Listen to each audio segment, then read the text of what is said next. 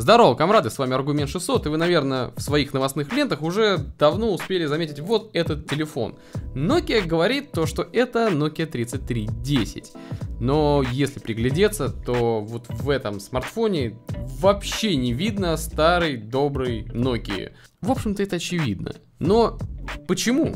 Вот что этому девайсу не хватает до, до того, чтобы стать или повторить успех хотя бы 3310 Nokia. Во-первых, судя по всему, производитель совершенно не понимает, в чем был успех Nokia 3310. Ну, если вот в сторону все шутки по поводу того, что это неубиваемый смартфон, и можно играть как кирпичом и так далее, вот это, э, если это все откинуть, то на самом деле ситуация довольно плачевная. Во-первых, из серьезного мобильного телефона в свое время они сделали игрушку. То есть, ну реально, это вот это воспринимать всерьез, ну как по мне, это нереально. Старая добрая 3310 это был действительно серьезный телефон в своем классе.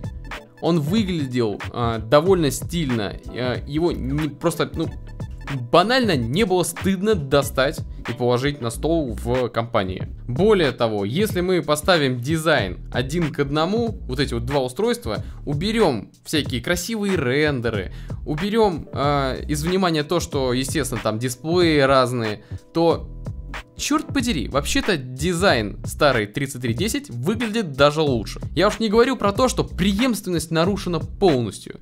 Подход к проектированию тоже совершенно другой этот девайс сейчас никому не нужен.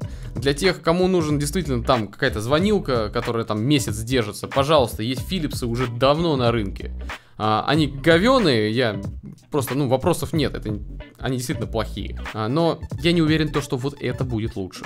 Во всяком случае, даже Philips отлично смотрятся. И когда ты видишь у человека Philips, то ты по ним прекрасно понимаешь, что, ну да, чуваку нужно просто быть на связи 24 на 7.